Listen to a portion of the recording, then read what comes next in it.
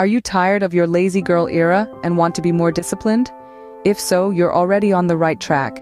Acknowledging the need to change is the first and most crucial step in the journey towards discipline.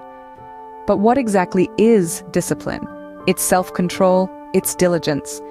It's making the choice to do what's beneficial in the long run rather than what's easy in the moment. Imagine the satisfaction of ticking off tasks from your to-do list or the pride in consistently working towards your goals.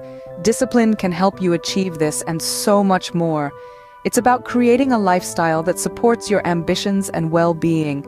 Remember, discipline isn't about punishment or depriving yourself, it's about making choices that lead to a healthier, happier, and more productive you.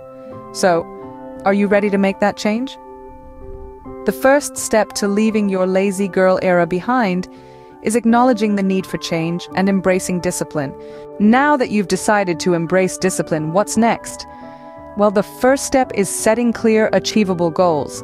Imagine you're on a journey. You wouldn't set off without a destination in mind, right?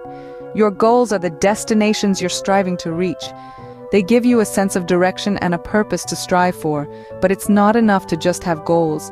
You need to create a routine and stick to it.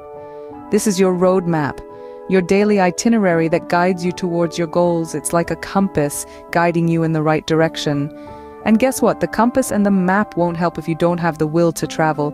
That's where self-control and self-motivation come in. They are the fuel that keeps your engine running. They help you resist distractions and stay on course no matter what.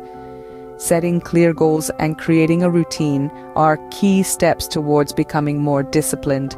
So, you've started on your journey to discipline, but how do you stay on track? This is where the real challenge lies, isn't it? The key here is a dynamic duo, consistency and persistence.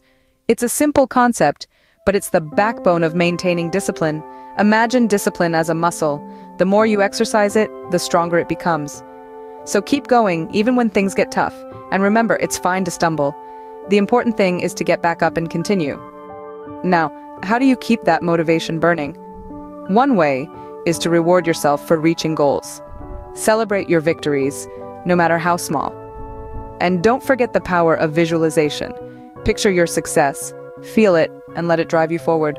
Lastly, don't underestimate the role of your supportive network. Friends and family can provide the encouragement you need to stay disciplined. Remember, becoming more disciplined is a journey that requires consistency and persistence, but with the right mindset and support, you can say goodbye to your lazy girl era for good.